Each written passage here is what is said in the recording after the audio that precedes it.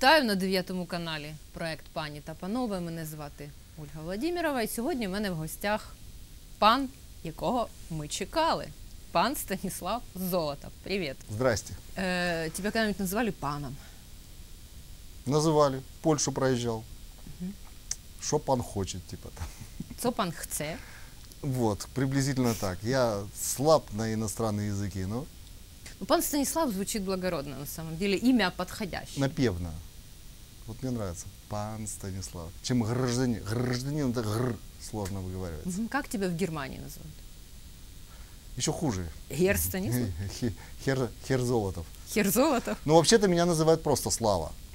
То есть это гораздо напевнее, и им легко выговаривать, чем я скажу, здравствуйте, меня зовут Станислав.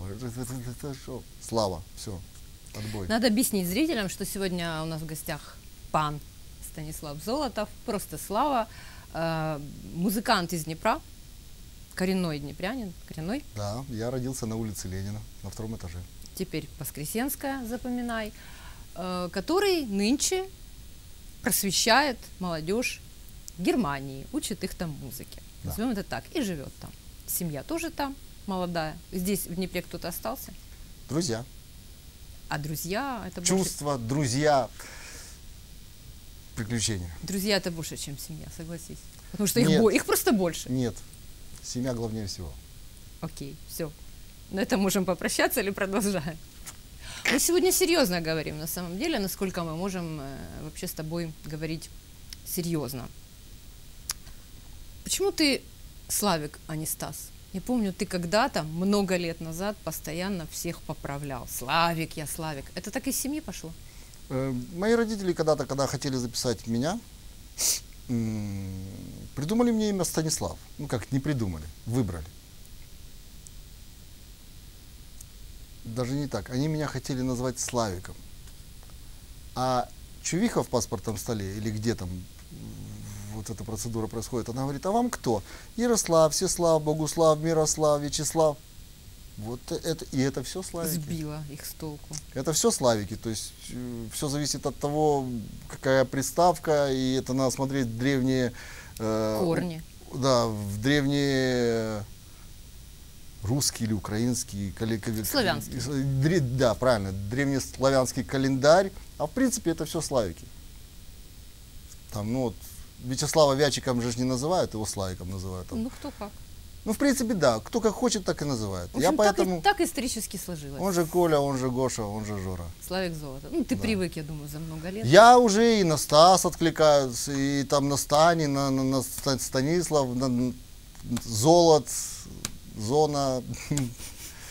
Много В школе, в школе была кличка, была Золот. еще- Золот. Ну, красиво, извини. Это Красиво. не кличка, это даже не погоняло. Там Это... Многие артисты мечтают о таком имени, а у меня кличка была.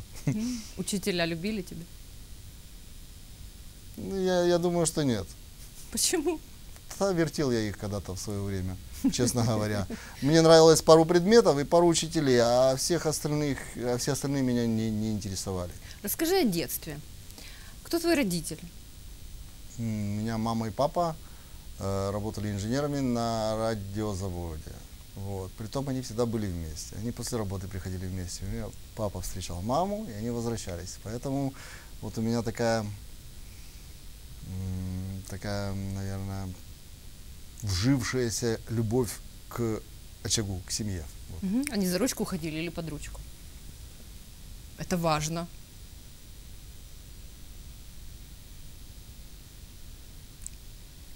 Вот так, э, э, это как?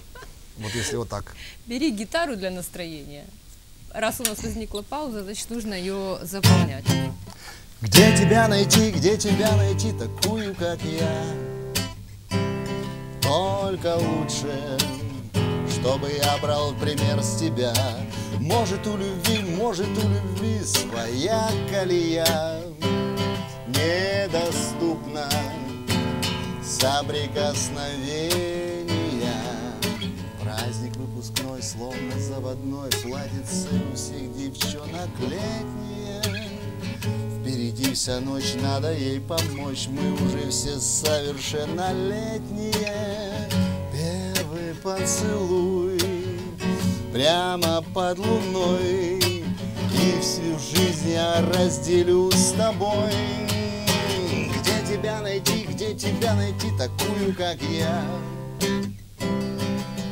Только лучше Чтобы я брал пример с тебя Может у любви, может у любви Своя колея Недоступна соприкосновения.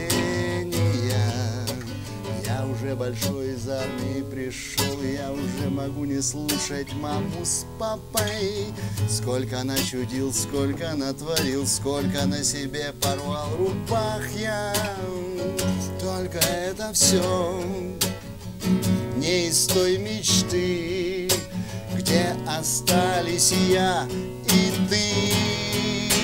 Где тебя найти, где тебя найти такую, как я? Только лучше, чтобы я брал пример с тебя. Может у любви, может у любви своя колея недоступна соприкосновения. Здравствуй, новый век, новый человек, я навсегда где-то рядом. А где ответа нет, в этом и секрет. Вот бы раз с ней встретиться взглядом, это все мечты бесшабашных дней. Но я верю, что я встречусь с ней. Где тебя найти, где тебя найти такую, как я? Только лучше, чтобы я брал пример с тебя. Может у любви, может у любви своя колея недоступна соприкосновения.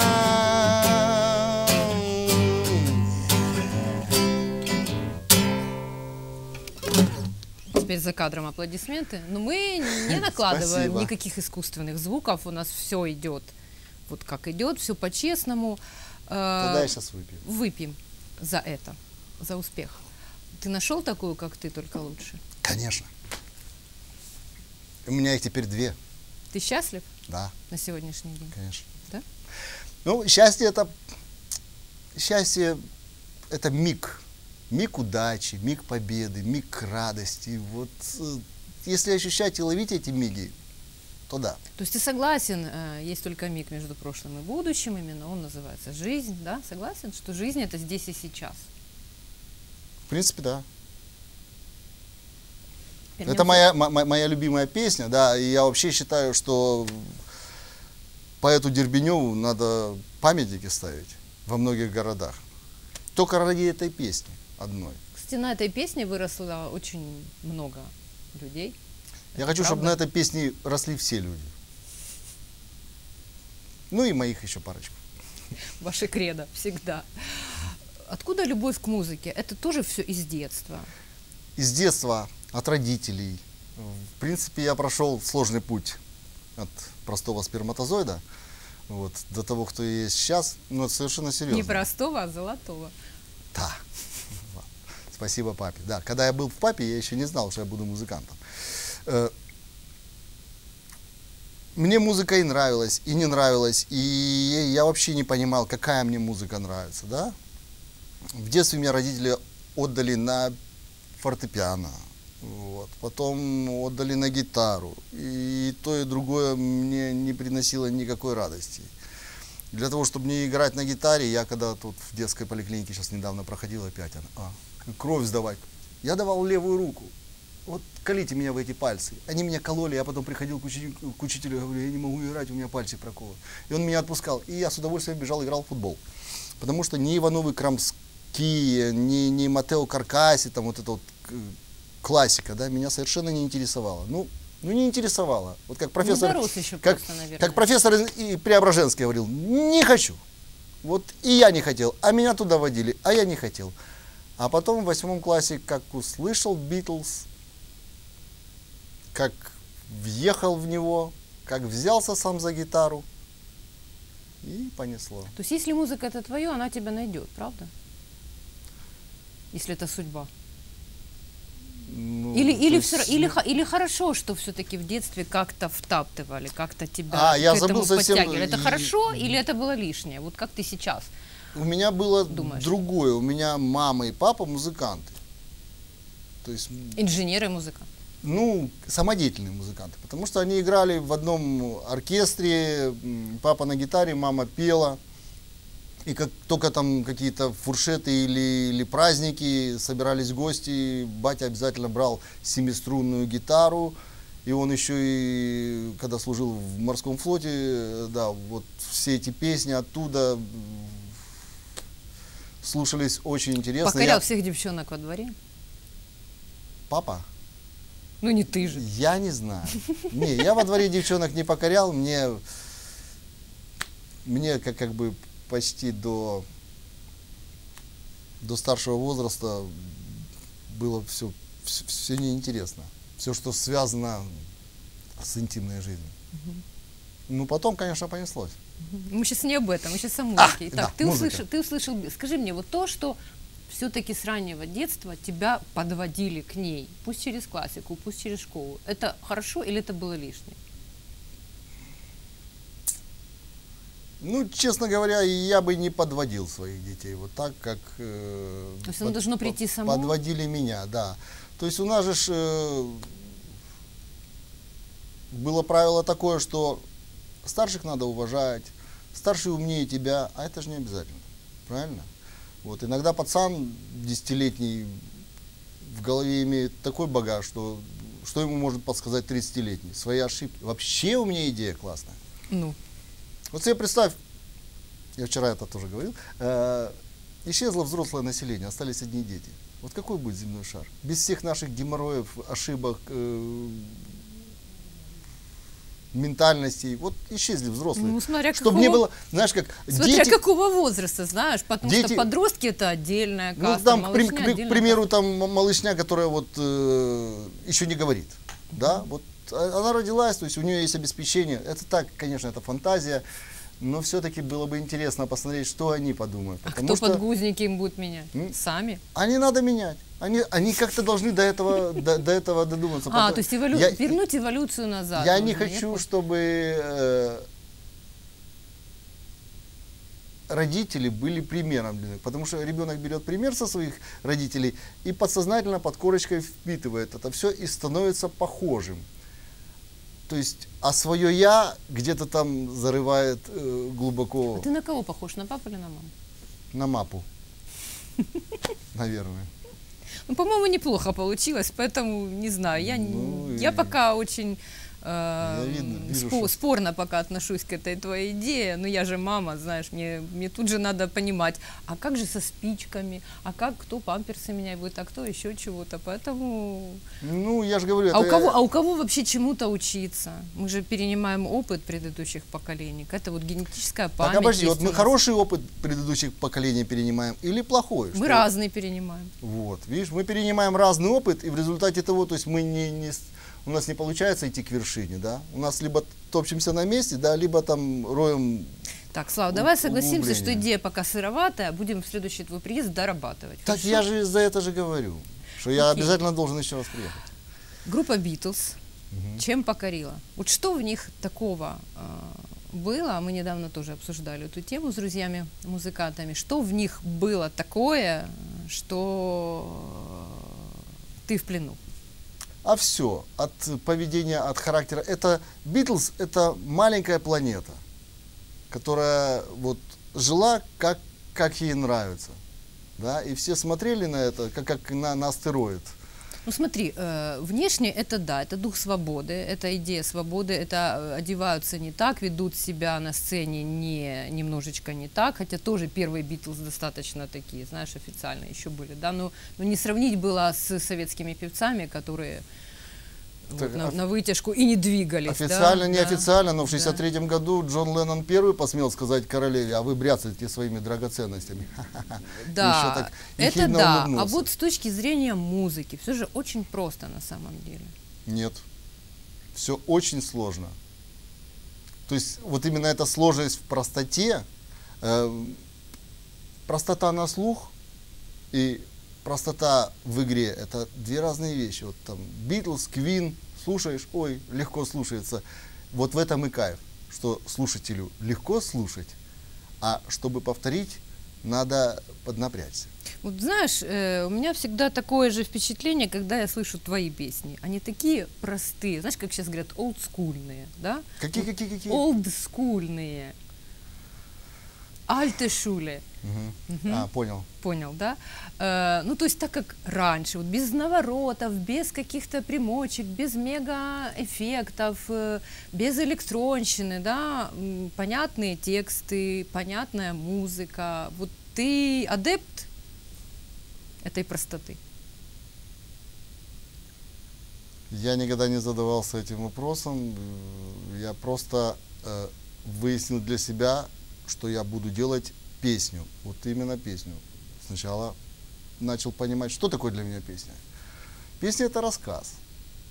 Рассказ, который имеет свое начало, там, кульминацию, я не знаю, и э, резюме. Вот. Главное, чтобы в каждой песне было резюме. Чтобы в конце человек понял, ага, вот оно. То есть это как в басне мораль, да? Да, как в басне мораль. Мгм. У тебя есть какие-нибудь социальные песни? Есть. Меня, я недавно сочинил песню совершенно совершенно как бы на ровном месте, да. Мне сказали, вот клевые ты песни пишешь, а как насчет спортлиги АТО? Двое суток мне понадобилось, я написал.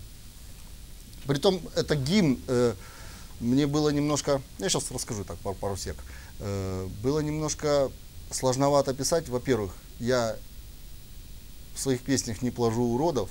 Вот если мне что-то не нравится, я просто уничтожаю, чтобы этого не было. Э, Потом пытаюсь сделать так, чтобы ни к одному слову не, не, не придрались. Если кто-то спросит, чтобы у меня был готовый ответ.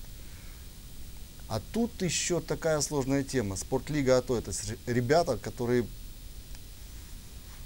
прошли через семь кругов ада, да, вот, которые выжили, ну, там, паралимпийцы или вы...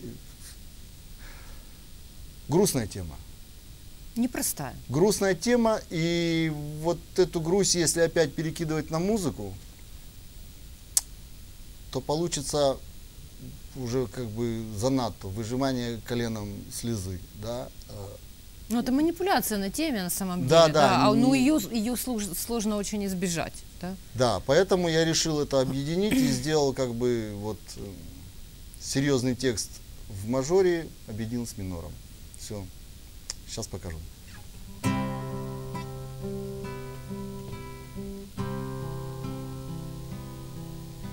Пока еще в жилах кровь не застыла, пока еще сердце бьется, Доказывать надо, что есть еще силы хоть чертом самим побороться.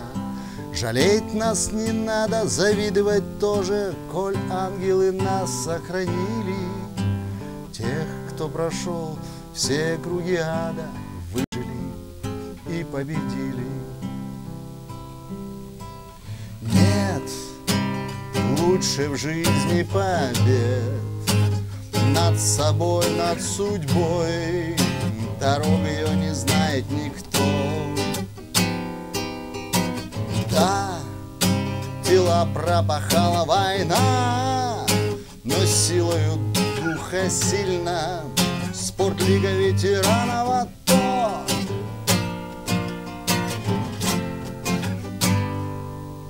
Кто искренне верит в светлое завтра, надежду свою не покинул. Кого убивали за свободу, за правду, за новую Украину, в которой нет места ворам и барыгам, свобода и воля. Живые цветы на могилах убитых, всем мира и слава героям. Нет, лучше в жизни побед Над собой, над судьбой. Дорог ее не знает никто.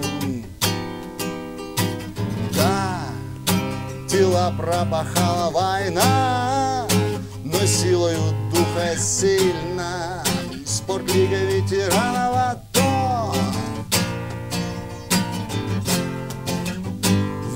Тиранова дом.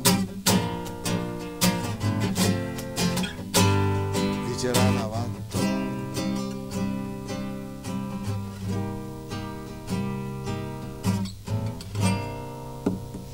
Спасибо. Это был заказ? Это была просьба, что как ты... Это, это Саша Островский. Угу.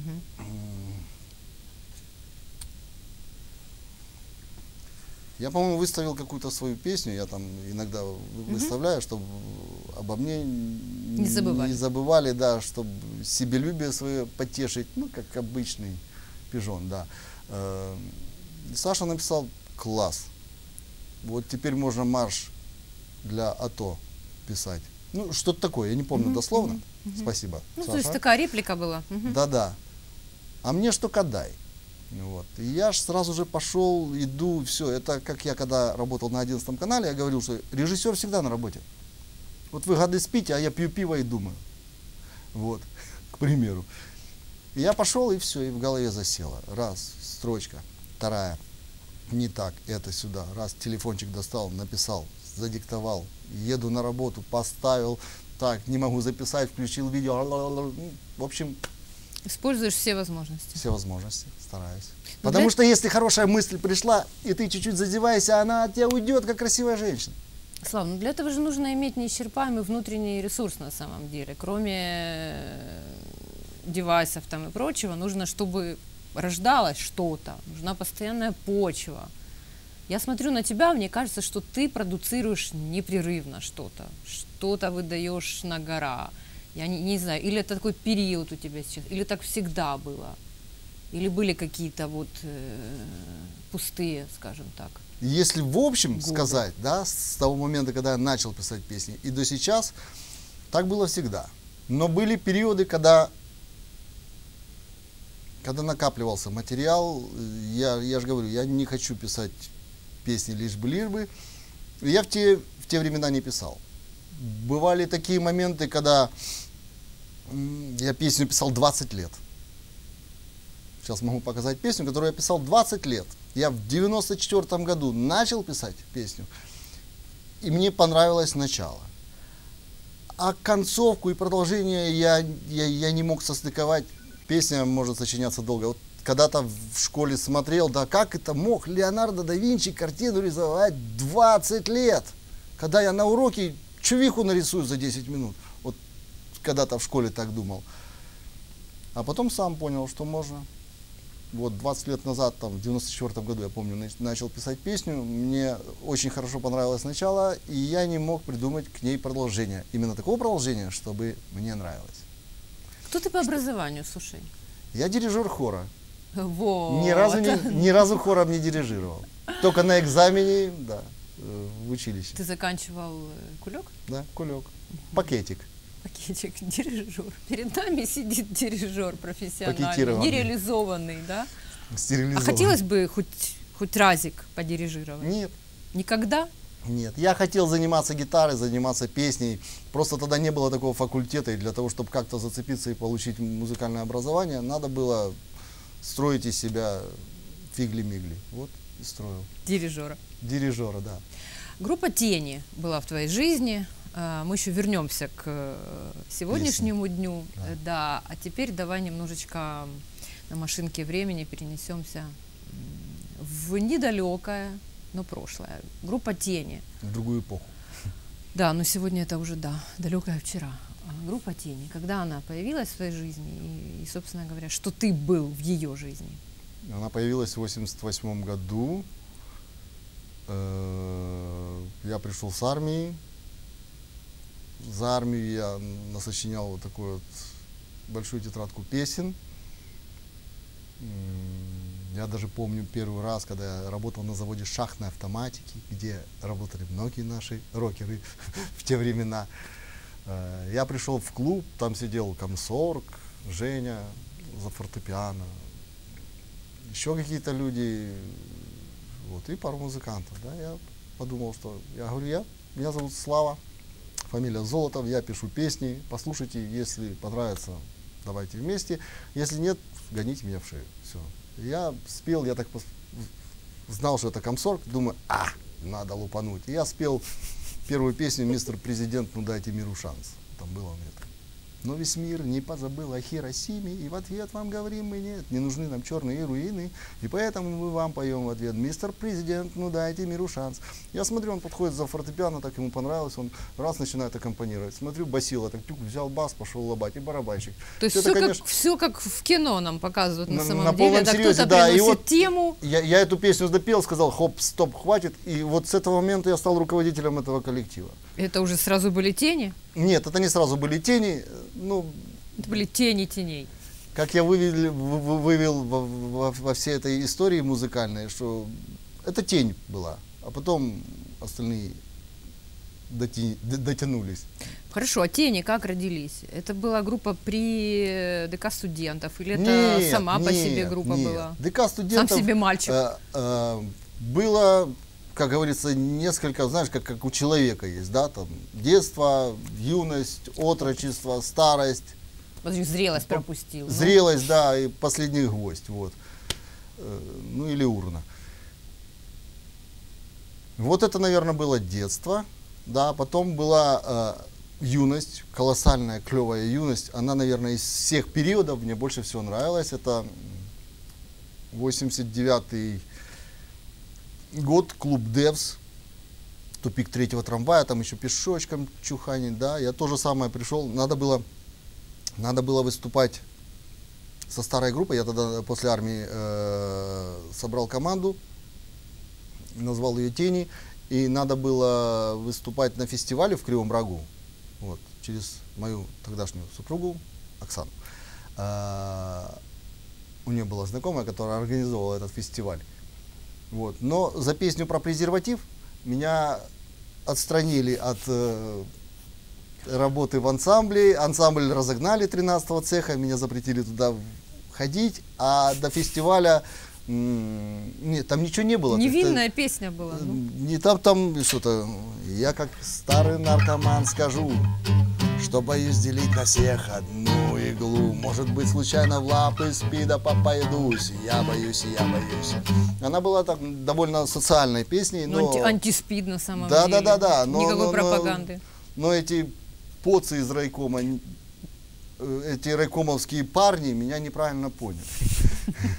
Вот. Ну и, естественно, да. А так как до фестиваля оставалось всего 5 дней, мы в Данди встретились, с Данди встретились э, в кафешке напротив Карабаха.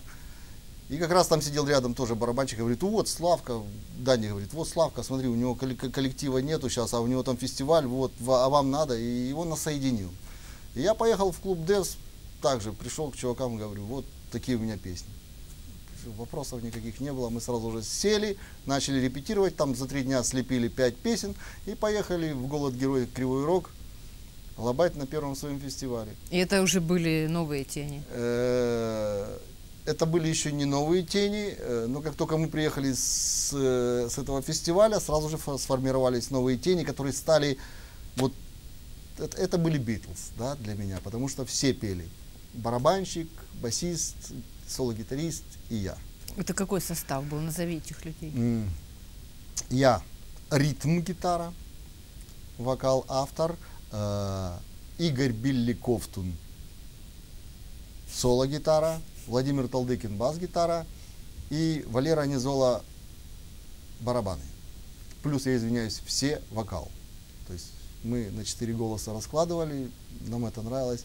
Мы тогда еще первый альбом записали такой на кассетку. Ну, то есть Ну. прививка Битлса на иммунитет э, против плохой музыки тебе дала на всю жизнь. Ну, Жванецкий когда-то сказал, «Ну, уходите из плохого фильма, не читайте плохую книжку, не общайтесь с плохими людьми. Вот я так как бы себя пытаюсь а, всю жизнь отодвинуть и, или не прикасаться к той музыке, которая мне не интересна. Вот, и всё. я не считаю ее плохой или хорошей, да, она другая, а я другой. Сколько существовали тени? Тени существовали до той поры, пока я не, не смылся. Пока ты был здесь. в Да, в Украине. 2002 году. То есть они там переходили, там был в 93 году фестиваль в Каховке, был другой состав. В общем, за это время через группу тени прошло более 40 музыкантов, там в районе 50. Ты уехал почему? Есть ответ на этот вопрос? Наверное, есть. Есть. Я уехал потому что не хотел маршировать на одном месте. Я чувствовал, что надо в жизни что-то менять. Вот то же самое, как, как я женился, да, и вот я, я чувствовал, что надо в жизни что-то менять. Если я сейчас не поменяю, я начну превращаться в амебу обратно, да. М, К сожалению, группа тени того периода была привязана к КВНу, и КВН у них был основой, а уже группа тени э, Ну, вторым, таким придатком, вторым музыкальным вариа- придатком. ну, вторым вариантом, скажем так, запасным аэродромом. Потому что КВН их на самом деле кормил, а группа тени время от времени. А мне хотелось вот полностью. Почему Битлз стали Битлз? Потому что они плюнули на все, да? Они создали свой мир и, и пробивались вместе вчетвером. Ты Вчетвером командный удобнее. игрок или ты солист? Вот как тебе кажется? Я всю жизнь хотел быть командным игроком.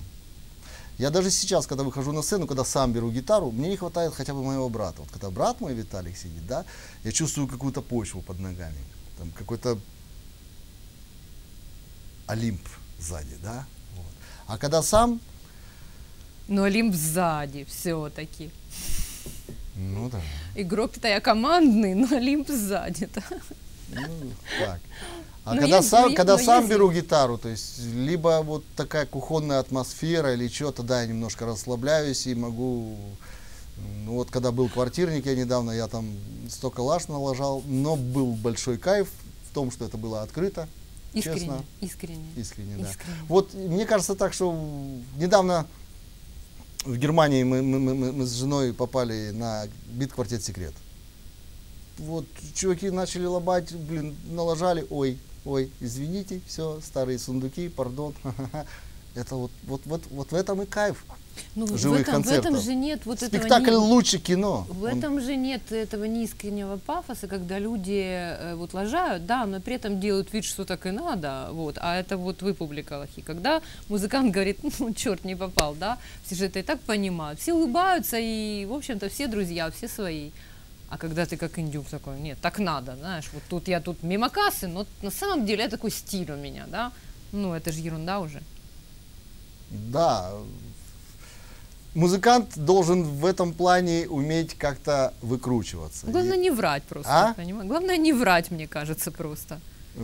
ты знаешь, просто не врать тоже не, не- не есть смысл, да, то есть там, там, почему ты опоздал в школу? Не хотел. Не кайф. А я, знаете, что я опоздал? Я Не опоздал. пе- Это просто не, песня из этого не родится. Да, не того, родится. Просто не хотел. Поэтому надо все это оформить в рамочку в красивую. Тогда, тогда да. Я помню, когда-то на концерте Бабай забыл текст коровы. Одного куплета. Бабай, нужно перевести для публики. Да. Это Юрий Богуславский. Э, э, Забыл текст коровы. Напомни нам чуть-чуть коровы. Чуть-чуть. Ну, куплет-припев, давай. Не плачь, моя буренка, я не важный пастух. Зачем же так мычать и нагонять противных мух? Ты бы лучше б спела что-нибудь для меня, ведь мы почти семья. Щаби-дуба, щаби-дуба. Не плачь, моя буренка, видишь, смотрит как бычок. Давай ты помолчишь, и я прилягу на бочок, и пусть приснится мне ведро молока, что ты не додала. Что Бабай забыл? Шуба-дуба? Не, Бабай э, забыл один из вот этих вот чет- четверостишей, да? Э, И я, слава богу, что-то мне, во мне включилось. Я подошел к микрофону и сказал, а в этом припеве, а в этом куплете поется о том, как чувак все-таки не дождался свою корову. Пока Бабай вспоминал, я вот это вот... Перевел. Потому, что перевел нельзя- его молчание. Да, да. нельзя было уже в текст говорить и именно вот этим ямбом, да, и пришлось там, ай, ты как так, а, когда он подошел, так и сюда, и чпок, и получилось, давай дальше. И он дальше как раз вспомнил, влез, и получилось совершенно клево. Ты хороший импровизатор. Нет, Ты находчивый. э, да, Но импровизация это же есть нет, находчивость. импровизация это подготовленная домашняя заготовка. Да, но когда нужно выкрутиться в экстренной ситуации, вот как сейчас, э, то привычка, скажем так, да, и наработанность импровизации, она же дает свои плоды. Вот находчивость, да, вот это твоя. Ну, в принципе, да, наверное. Знаешь, как то палец в Тебе рот. сложно поставить в тупик, в общем. В угол загнать. Я все равно там стоять не буду. Я просто не к тому, что... Я не знаю.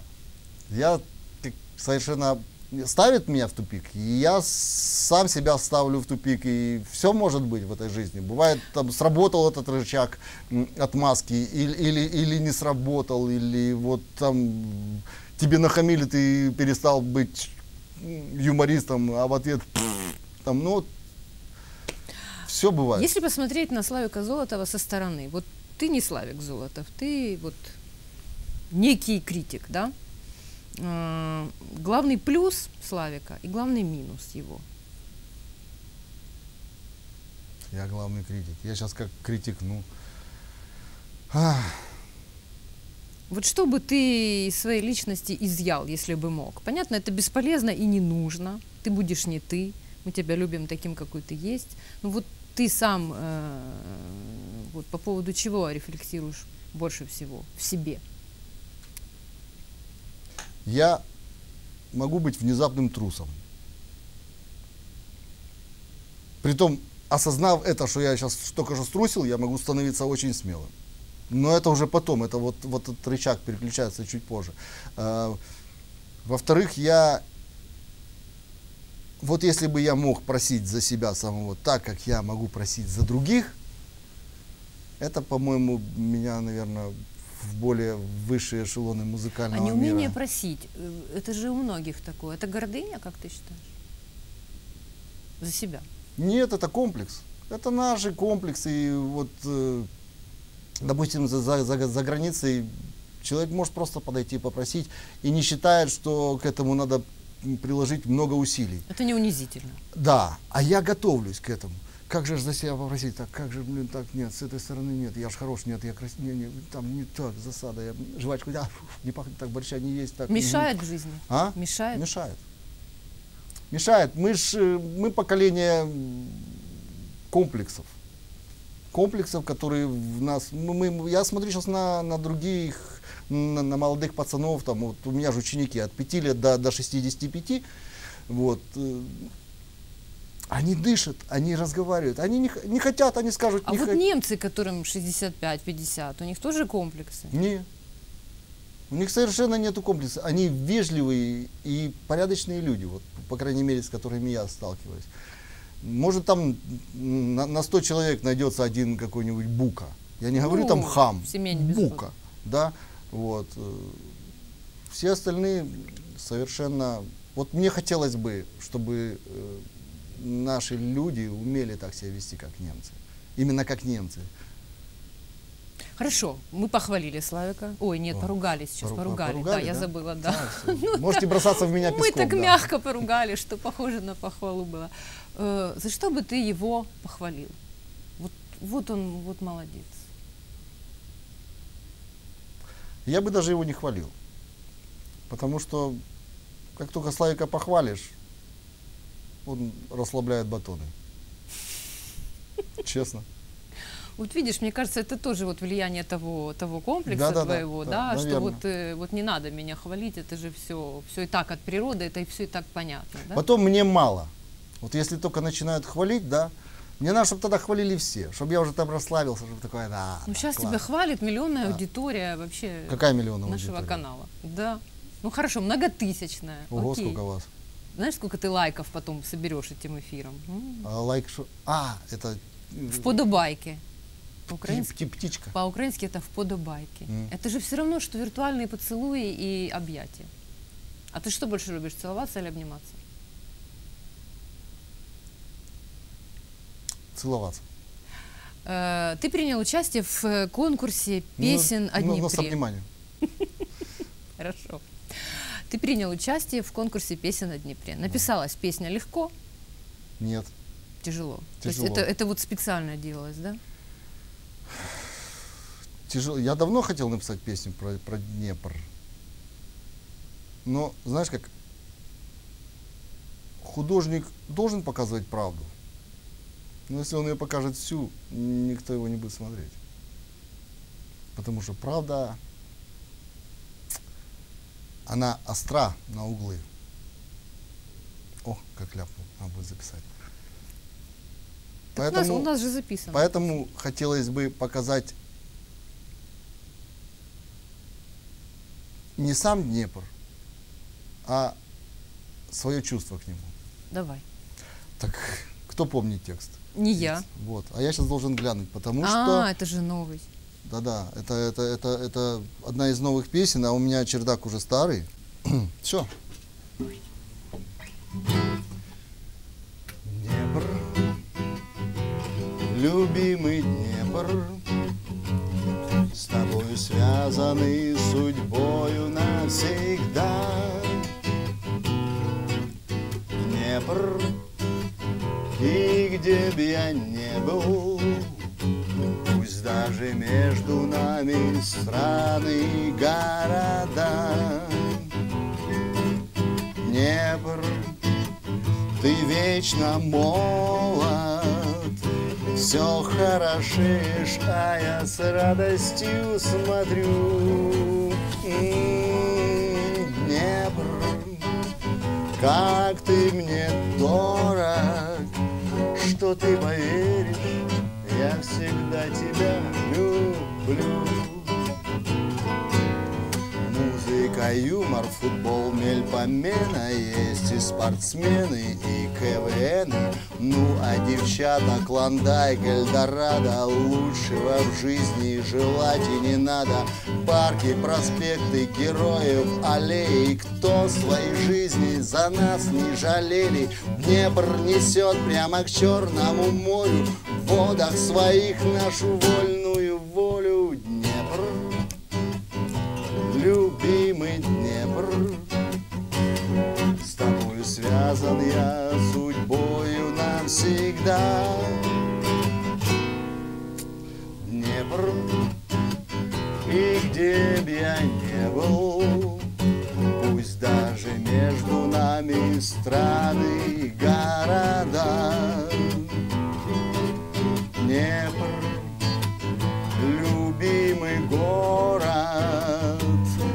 хорошеешь, а я с радостью смотрю. М, Днепр, как ты мне дорог Что мне поверишь, я всегда тебя люблю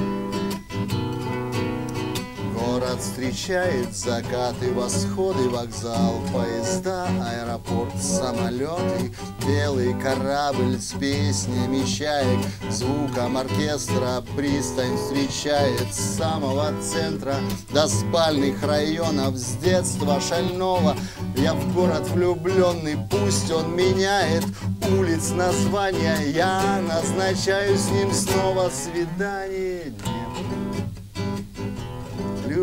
Любимый Днепр, с тобою связан я судьбою навсегда.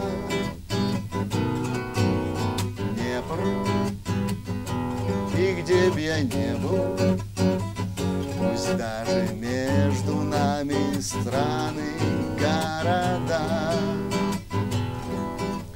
Днепр, ты вечно молод, все хорошеешь, а я с радостью смотрю.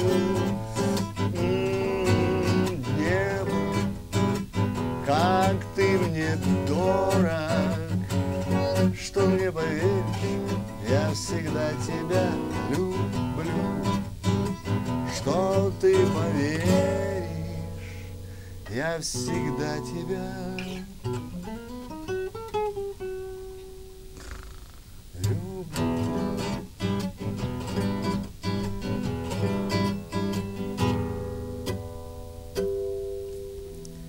Данки Шонгер Золотов. Поразительно. Человек 16 лет, проживший вне города, вне контекста фактически, да, такую пронзительную штуку о любви написал. Э, Ты испытывал ностальгию? Да. А, не-не-не-не, Ишуль, я, я психанул. У меня нет двух болезней. У меня нет зависти и ностальгии. Каково это? Я вот сейчас поймала себя на мысли о том, что они... Это просто любовь. Ни коренной Это не- немец, ни вот я, да, у которой нет такого опыта, э, мы не можем э, себе представить, как, как это вот э, жить э, двумя странами. Ведь Германия тоже дом, правильно? И уже, и уже более даже дом, чем, чем Украина. И Украина дом, и Родина. Дом, дом это когда твой. А когда ты снимаешь жилье, это не дом. Ну, это чисто славянские привязки, мне кажется. Вся Америка живет в съемном жилье и нормально себя чувствует, да? Хотя Вот Америка, она же тоже не коренная. коренное слово чувствуют. Мгм. Я не чувствую себя в Германии дома. Именно в Германии дома. Я чувствую в Германии дома, у себя дома, дома. А в Германии как а в Германии? самой, как в Германии, я не чувствую себя дома. То есть ты там работаешь? Да, скажем так, это предприятие, на котором я зарабатываю деньги. Мгм. Ты с удовольствием приезжаешь сюда?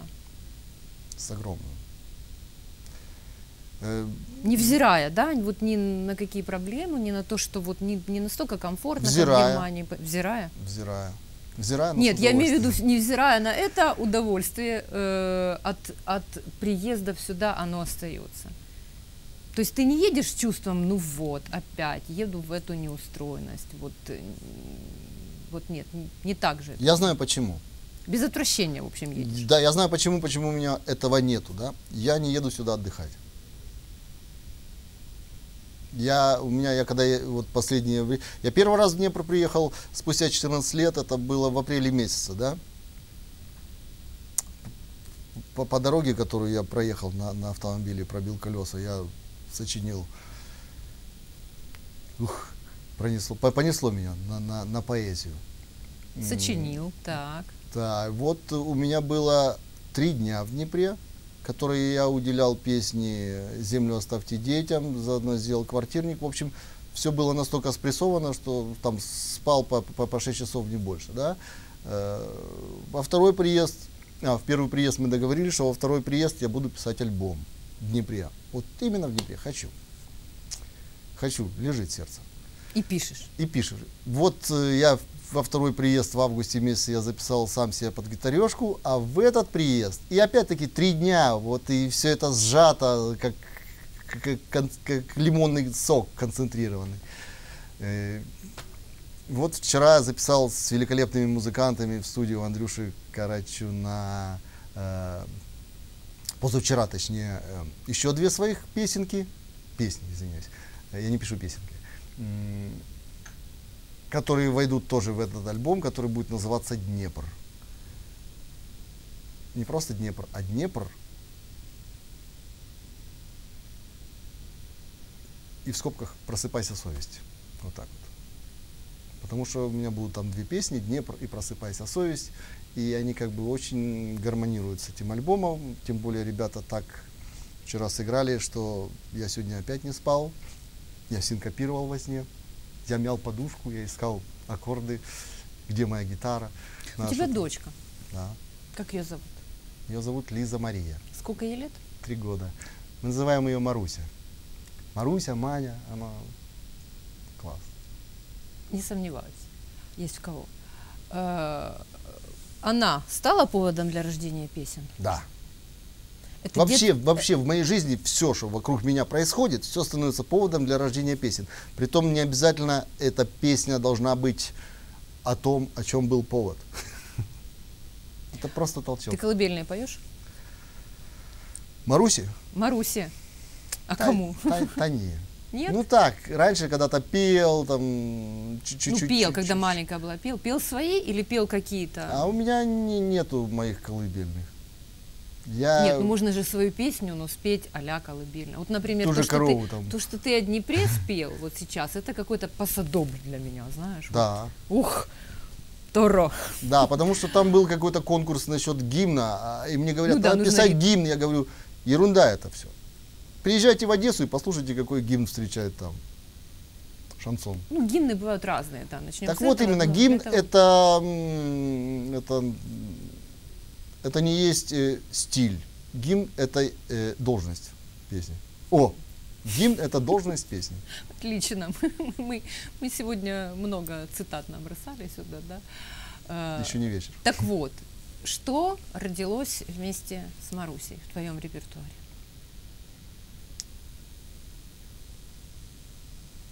Землю оставьте детям. Она была, она родилась еще до этого, но не обрела свои формы. Вот. она обрела свои формы, и я поменял мировоззрение в сторону отцовства. Вот когда человек не чувствует себя отцом, он придается себе самому красивому. Слушай, мне кажется, что э, перемена страны на тебя меньше повлияла, нежели перемена статуса до отцовства и, и после. Я не знаю, я не, не- не- не- ставил это на весы, потому что перемена страны, э, в принципе, я до того, как появилась Маруся, у себя под кроватью записал три альбома. И все они настолько душевные э, и, и- и честные оказались, что я понял, в каком направлении должен работать. Я есть, ушел от э, стиля песен для девочек, которые были в группе Тени, да, для для песен для души, сердца и мозга. Я же даже как э, чувствую без зрителя, э, чувствую без публики ржавею. Зритель нужен, а иначе все. Вот, придумал. За обыкновеннею. Пусть не звучно, но зато мое. Мне не надо ваши восклицания. Браво, бис, овации, цветы. Это все этюды воспитания, осознание в себе звезды. Не хочу и не хотел быть модным. Стильным, да, но чтобы открыть свой стиль. Чтоб когда прошелся по аккордам, зритель в это время не грустил. Может быть, задумался над текстом, смыслу внял, мелодию вкусил. И не обязательно с оркестром. Мне и самому хватает сил. Где ошибусь, по-моему, что-то не нарушу, так слегка добавлю куража, чтобы вышли наконец наружу ваши души и моя душа, чтобы они друг друга лицезрели, продолжалось творчество мое, чтобы мы друг без друга не ржавели. Зритель нужен, а иначе все. Очень классное многоточие, на самом деле. Мне кажется, в каждый твой приезд нужно Пропустил. записывать, записывать отдельный эфир. Очень многогранный, очень насыщенный. Ты и твоя жизнь, Я и все на свете. Можно ам, даже родить такой маленький формат. Формат настроения, или там за- з- золотое настроение, да, или настроение с золотом. Вот пятиминутка с тобой, да, сегодня такая, завтра другая. По-моему, это вообще шикарно, Совершенно. Я еще шикарная штука. переодену джинсы. Шикарно. В смокинг? А? В смокинг? Джинсы в смокинг? Ну, Нет, смокинг заправлю в джинсы. отлично. Что ты поешь напоследок? На сегодняшний последок. А я хотел же Землю. пок- по- показать вот эту вот песню, которую я 20 лет сочинял. Вот ею закончим сегодня. М, А что бы нет? Окей. Длинная дорога в. Да. Е, я з вами мушу попрощатися. Після цього ще буде пісня. Це був пан Станіслав Золотов. Він ще приїде до нас, тобто далі буде. Побачимось. Под тенью кипариса в шикарном гамаке. Я погрузил свое на загуравшееся тело. И солнце цвета пива холодного в руке. Один большой глоток. И душа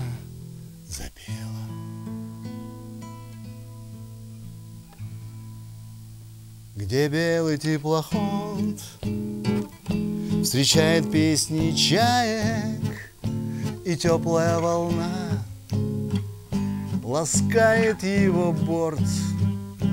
Тому-то лил и я Все моя печали Так качаюсь в гамаке. И никаких забот небо Отражает себе море Море флегматичное до дна дно.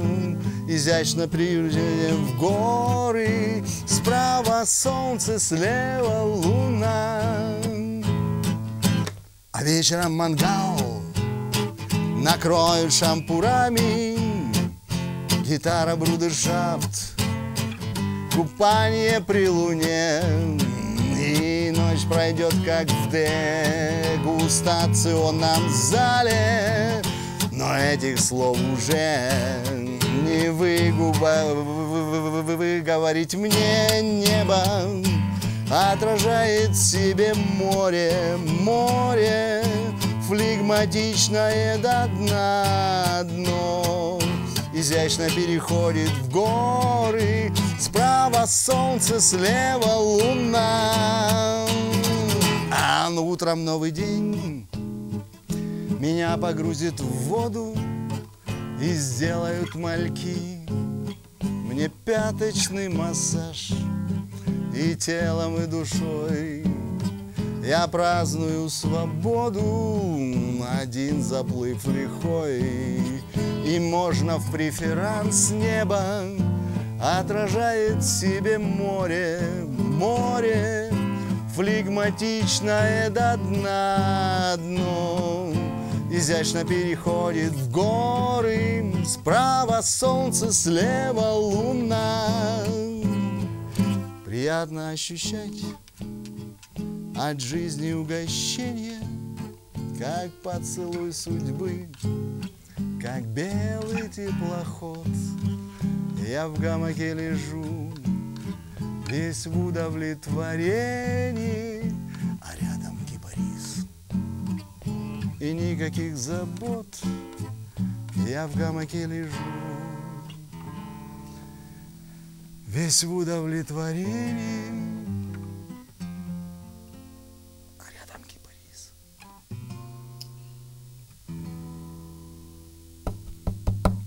И никаких забот.